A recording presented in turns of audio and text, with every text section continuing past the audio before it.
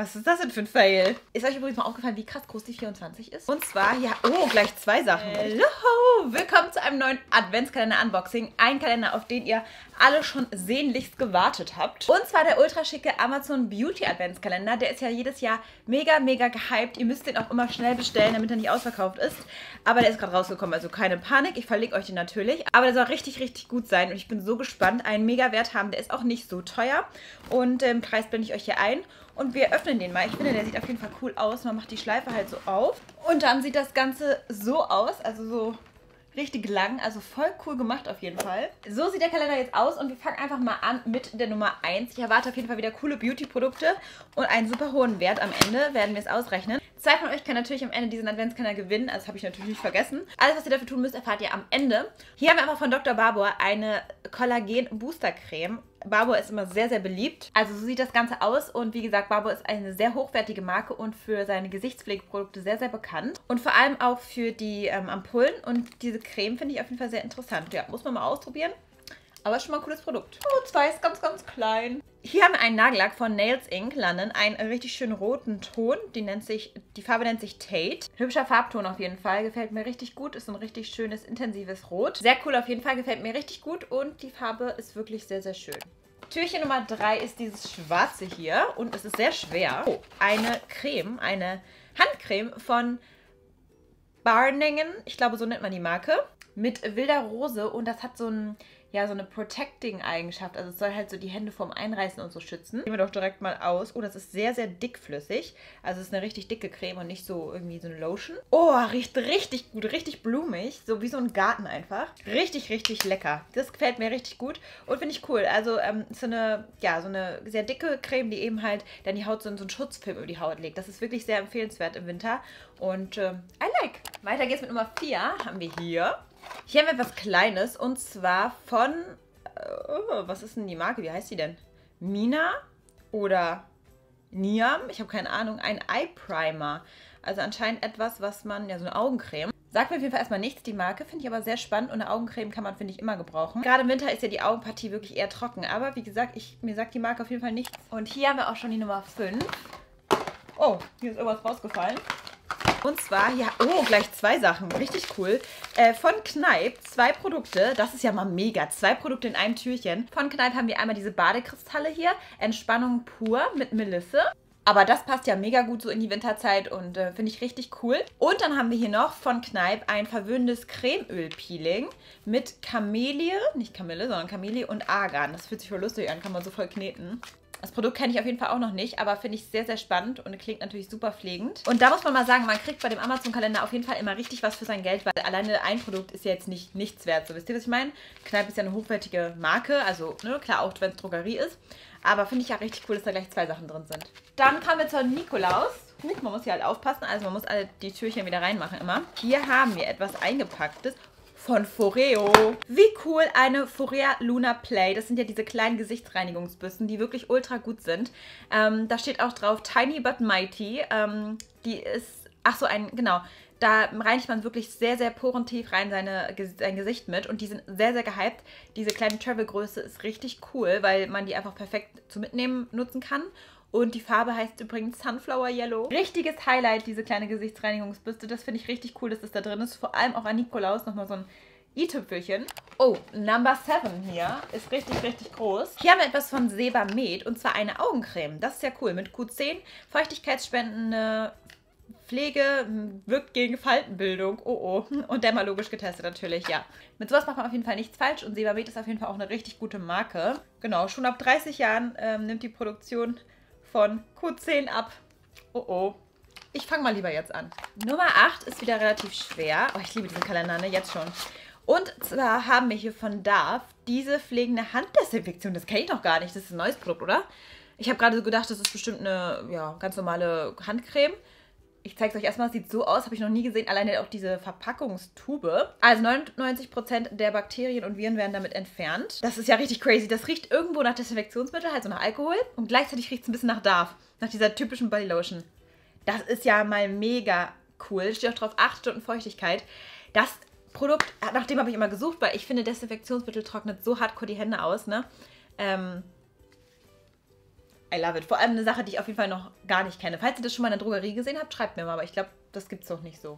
Nummer 9. Hier haben wir von Ghoul, sehr cool, ein Kopfhaut-Sensitiv-Shampoo mit weißem Tee und Wasserminze. Das ist so eine kleine Reisegröße. Ich mag ja Ghoul-Shampoos richtig gerne. Ich finde, die ähm, sehen nicht nur von der Packung gut aus, sondern die reinigen die Haare auch immer richtig schön, ohne dass die irgendwie nachfetten. Oh ja, das riecht auf jeden Fall sehr, sehr frisch und sehr lecker. Dann weiter geht's mit Nummer 10. Hier oben. Oh, was ganz flaches. Hier haben wir von Beleda eine Skin Food Lip Butter. Intensive Sofortpflege für super trockene Lippen. Kann man, glaube ich, jetzt im Winter auch sehr, sehr gut gebrauchen. Auch Beleda ist ja, glaube ich, Naturkosmetik. Also finde ich auch sehr cool, dass das da drin ist. Finde ich auf jeden Fall ein sehr spannendes Produkt und freue ich mich drüber. Dann haben wir hier Nummer 11. Oh, sehr schwer. Hier haben wir, ach wie cool, von Nivea dieses feste Shampoo mit Reismilch. Und zwar ist das dieses pH-neutrale pH-Balance für fettiges Haar. Ich muss sagen, dass ich das irgendwie auch noch nicht kenne. Ich habe ja schon viele feste Shampoos getestet, aber das auf jeden Fall noch nicht. Finde ich richtig cool. Ist so krass, wie festes Shampoo einfach früher schon mal im Trend war und dann einfach so diese Tube aufkam. So sieht das übrigens aus, wie so ein normales Stück Seife. Riecht sehr neutral, also eher nach gar nichts, würde ich sagen. Ja, Produkt kenne ich, wie gesagt, auf jeden Fall noch nicht. Dann Nummer 12. Oh, was von Elizabeth Arden. Und zwar irgendeine Reinigungsessenz. Ähm, ich weiß ehrlich gesagt noch nicht so richtig, wofür das ist. Die Essenz ist so leicht wie Wasser und zieht schnell ein, um müde Haut zu revitalisieren und die natürliche Produktion von feuchtigkeitsspendenden Ceramiden zu unterstützen. Gerade sieht so aus, kenne ich auf jeden Fall noch nicht. Ich weiß ehrlich gesagt nicht mal richtig, was Ceramide sind, aber anscheinend ist das irgendwie wichtig für die Haut und für die Feuchtigkeit. Nummer 13 ist richtig groß hier wieder und auch sehr schwer. Von This Works eine Deep Sleep Body Cocoon Multitasking Beauty Creme ja, ist einfach eine Creme für den ganzen Körper und ähm, soll man sowohl morgens als auch abends auftragen können. Ja, okay, warum auch nicht. Und äh, ist mit Shea Butter und auch Anti-Aging. Die Marke sagt mir irgendwie schon was, aber ich habe die jetzt noch nicht so oft gesehen. Aber auf jeden Fall auch cool. Das sind übrigens auch 100 Milliliter. Also ist eine gute Größe. Dann Nummer 14 hier. Okay, ein Riesenpaket für einfach nur einen Stift. Und zwar wieder von dieser Marke Thrina oder so, keine Ahnung. Und zwar ein Eyeliner. Pen, einfach so einer mit so einer Filzstiftspitze. Ja, finde ich cool, kann man auf jeden Fall gut gebrauchen. Marke, wie gesagt, kannte ich eh vorher nicht. Sehr spannend. Auf jeden Fall ein Eyeliner kann man immer gut gebrauchen. Und Filzstift-Eyeliner sind sowieso meine Highlights. Also ich mag die am liebsten. Dann Nummer 15. Von Taft, wie cool. Und zwar dieses Volumenpowder, das kennt ihr bestimmt. Das ist dieses Puder, was so ein bisschen in den Händen so ein bisschen stumpf wird und was man so in die Haare geben kann. Und dadurch hat man richtig so Grip und kann halt so Volumen machen. Also es ist richtig cool. Das gibt es auch von anderen Marken, das gibt es auch von Balea und so. Aber von Taft habe ich es noch nicht probiert und das finde ich richtig cool, dass es das da drin ist. Vor allem so für Frisuren vielleicht so jetzt so zur Weihnachts-Winterzeit, wo man vielleicht ein bisschen was Aufwendigeres macht oder auch Haare mal offen trägt.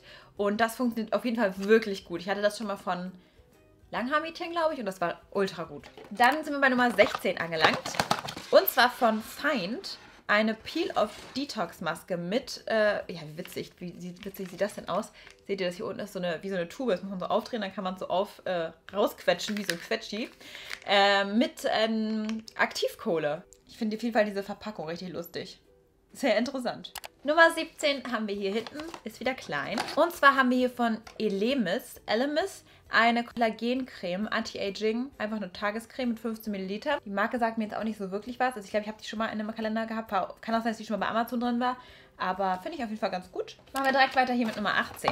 Etwas von Revlon. Sehr, sehr cool. Ist auch, glaube ich, jedes Jahr bei Amazon dabei.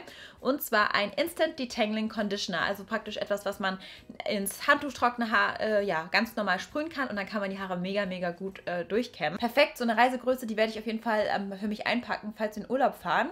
Weil ich kann das immer sehr gut gebrauchen. Vor allem, wenn man ähm, im Meer war oder so. Cool, dass es da drin ist. Das will ich mal ausprobieren. Revlon ist ja auch eine sehr renommierte Marke. Oh, das riecht auch schon. Es riecht schon nach Friseurprodukt und teuer. Dann sind wir schon bei Nummer 19. Oh, es wird mal leerer hier im Kalender. Ich finde, der macht richtig Spaß. Hier haben wir von Art Deco einen, eine Lip Color, also so ein Liquid Lipstick anscheinend. So sieht die Farbe aus. Finde ich auf jeden Fall richtig, richtig hübsch. Und ist so ein richtig schöner ja, herbstlicher Ton. Das finde ich auch ein Highlight. Den Farbton, ich glaube, den werden ganz viele mögen. Dann bei Nummer 20 sind wir. Ich bin so gespannt, was in 24 drin ist. Ich will das jetzt wissen. Oh, hier haben wir von Marvis diese Zahnpasta. Die kennt ihr bestimmt auch. Das ist diese Mint-Zahnpasta, die so ein bisschen retro aussieht. Ich glaube, die war auch schon mal drin, aber die ist richtig gut. Also ja, ist auch so eine Travel Size mit ich glaube 50 Millilitern, 25 Milliliter. Aber das, äh, die ist ganz gut, muss ich sagen. Ist auf jeden Fall sehr intensiv minzig. Dann Nummer 21. Was ist das denn für ein Fail? In der 21 ist einfach das gleiche Produkt drin und zwar nochmal dieses pH-neutrale feste Shampoo. Hä? Das kann doch nicht sein. Original das gleiche Produkt, Leute. Das seht ihr ja hier, ne? pH-neutrales Shampoo mit Reismilch. Das muss doch irgendwie ein Fehler sein. Okay, ich glaube, da soll etwas anderes drin sein. Und zwar eine Pflegedusche von Sebamed, eine feste. Also ich glaube, da wurde sich einfach vergriffen. Und zwar ist die von Sebamed eine feste Pflegedusche mit Mango und Ingwer. Ich glaube, das soll da drin sein eigentlich. Ich blende euch jetzt mal den Preis ein für diese Pflegedusche von Sebamed, die eigentlich drin sein soll. Ähm, weil ich bezweifle, dass das bei jedem so ist. Fail. Gut, machen wir weiter mit 22. Das finde ich ja ganz komisch, aber passiert. Hier haben wir nochmal eine Handcreme und zwar gegen sehr trockene Hände von Vasenol. Parfumfrei. Ja, ist auf jeden Fall auch perfekt für trockene Hände. Ist übrigens von Unilever, also falls ihr die Marke nicht kennt. Haben die nicht auch Vaseline? Also ich kenne diese Marke, glaube ich, mit diesem dieses Logo von Vaseline. Aber auch ganz gut. So, aber Nummer 23. Ich habe ja schon gesichtet, was da drin sein könnte, eben aus Versehen. Und zwar von Neutrogena Glow Boost, eine revitalisierende Tagespflege. Sehr cool. Ist ein Full-Size-Produkt natürlich. Kann man auf jeden Fall mal gut testen. Ich kenne das auf jeden Fall noch nicht. Also ich habe das schon mal gesehen in der Drogerie, aber noch nicht ausprobiert. Aber cool, dass das nochmal da drin ist. Finde ich auch nochmal ein Highlight. Ich bin jetzt einfach so gespannt, was in 24 ist. Das habe ich zum Glück noch nicht gesehen. Und das ist einfach unfassbar schwer. Und guckt mal bitte, wie groß das ist. Nein. Letztes Mal war da doch ein Glätteisen drin. Ich erinnere mich, das ist einfach ein kleiner Mini-Föhn für on the go. Krass ist das denn bitte? Einfach ein kompletter Föhn. Vor allem Remington ist auch richtig gut und diese Reiseföhne, die haben nämlich keinen mehr. Ich habe mir, also wir hatten so einen ganz gammeligen, wo immer schon die Haare verbrannt gerochen haben. Und jetzt haben wir zwar zu Hause einen normalen Föhn, aber hat keinen kleinen zum Mitnehmen. Das ist ja mal, I love it. Das ist ja nochmal ein richtiges Highlight hier in der 24. Der äh, Kalender sieht sehr zerrupft aus. Ich hoffe sehr, es hat euch gefallen. Ich finde, der Kalender ist ein absolutes Highlight. Und für alle, die eben so mittelmäßig viel Geld ausgeben wollen, der kostet ja 75 Euro knapp, ist es auf jeden Fall was. Ihr habt einen krassen Wert. Ich blende euch den hier einmal ein und ich, ich finde, das lohnt sich total. Da sind immer tolle Produkte drin. Also Amazon gibt sich jedes Jahr mega Mühe. Und wie versprochen können jetzt zwei von euch den Adventskalender gewinnen. Alles, was ihr dafür tun müsst, ist mir auf Instagram zu folgen, dann außerdem meine drei letzten Beiträge zu liken und diesen Emoji unter einem meiner letzten Beiträge auf Instagram zu kommentieren. Dann weiß ich Bescheid, dass ihr mitmachen wollt. Die Gewinner werden dann per Instagram Direktnachricht von mir persönlich, das ist ganz wichtig, angeschrieben. Und dann bekommt ihr das Paket nach Hause geschickt. Ansonsten habe ich sehr, hat euch gefallen. Schreibt mir gerne, welche Adventskalender ich als nächstes auspacken soll. Und dann sehen wir uns schon mal im nächsten Video wieder. Ciao!